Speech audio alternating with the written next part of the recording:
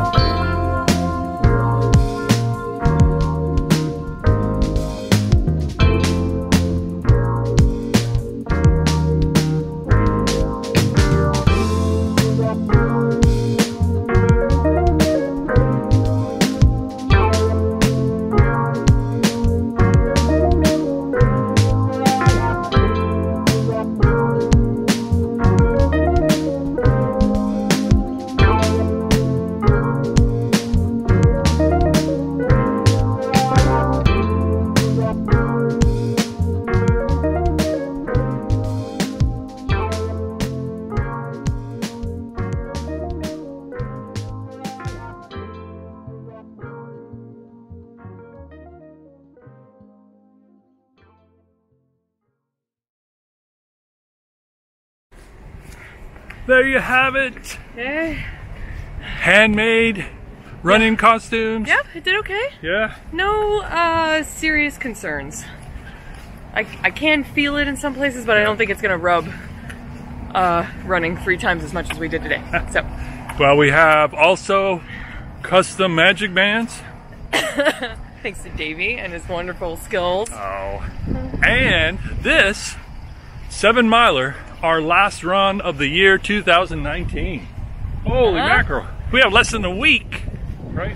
No, I'm sorry, less than weeks. two weeks. Less than two weeks. Next week we run a six miler. It'll be our last run before marathon weekend. It'll also be our first run of the year 2020. Holy mackerel. Well, hey, everybody, Happy New Year. Always an adventure with you.